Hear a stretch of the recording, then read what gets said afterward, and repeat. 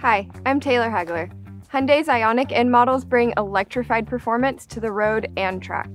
And as part of the experience, you can adjust many of the performance settings of your IONIQ N. Before changing settings, be certain to go through the complete N tutorial in your vehicle by selecting N mode, then the menu icon, and then tutorial.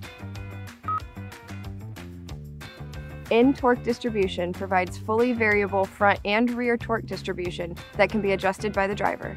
It can only be activated when the motor mode is set to Sport Plus and the electronic stability control is set to Sport or off.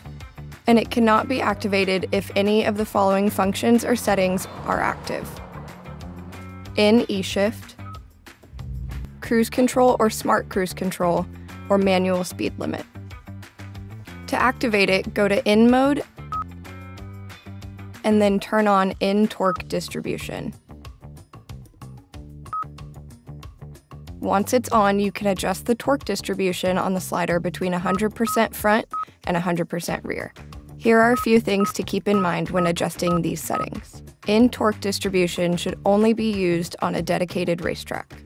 Your IONIQ N has a motor at each axle and will not send power between front and rear axles.